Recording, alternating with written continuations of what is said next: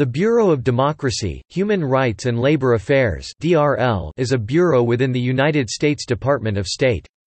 The Bureau is under the purview of the Under-Secretary of State for Civilian Security, Democracy, and Human Rights. DRL's responsibilities include promoting democracy around the world, formulating U.S. human rights policies, and coordinating policy and human rights-related labor issues. The Office to Monitor and Combat Antisemitism is a separate agency included in the Bureau. The Bureau is responsible for producing annual reports on the countries of the world with regard to religious freedom through its Office of International Religious Freedom and Human Rights. It also administers the U.S. Human Rights and Democracy Fund. The head of the Bureau is the Assistant Secretary of State for Democracy, Human Rights, and Labor.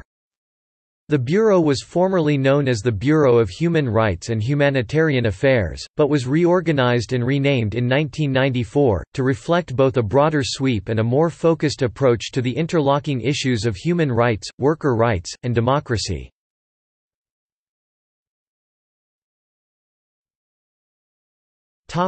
Organization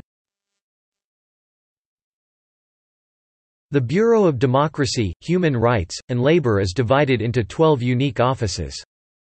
Office of Country Reports and Asylum Affairs, prepares the State Department's annual reports, including the country reports on human rights Office of International Religious Freedom, supports the United States Ambassador at Large for International Religious Freedom Office of Policy Planning and Public Diplomacy Office for Africa, monitors human rights in Africa.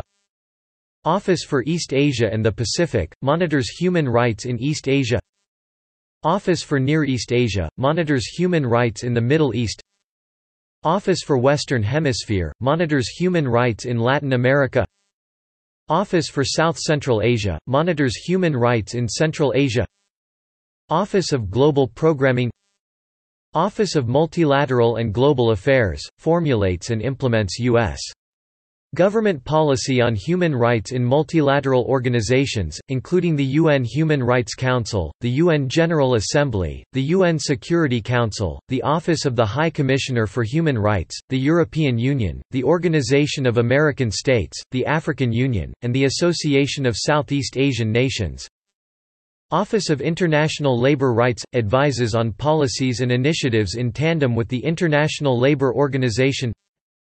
Executive Office